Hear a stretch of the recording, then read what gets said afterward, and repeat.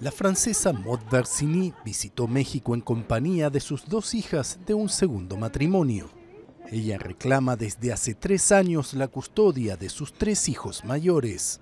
Finalmente logró un acuerdo que obligará al padre, su ex esposo mexicano, el ex gobernador del Estado de México, Arturo Montiel, a que permita que los tres niños viajen a Francia cada año.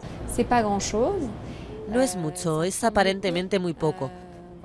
Son solo dos meses por año.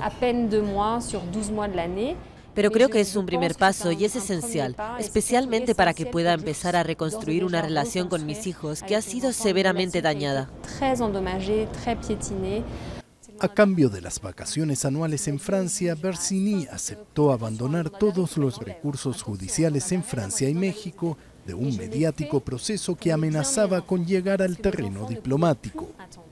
Además de una orden de arresto internacional emitida contra el influyente político mexicano, la Comisión Interamericana de Derechos Humanos le pidió a México que Bersini pudiera ver a sus hijos sin restricciones.